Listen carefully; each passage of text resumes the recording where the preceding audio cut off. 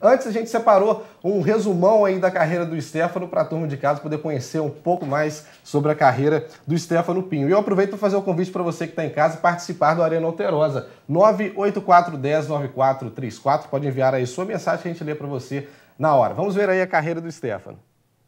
Free toss gives it to Stefano, and it's another goal. Stefano Pinho, 25 anos, revelado nas categorias de base da Escolinha de Futebol de São João Nepomuceno.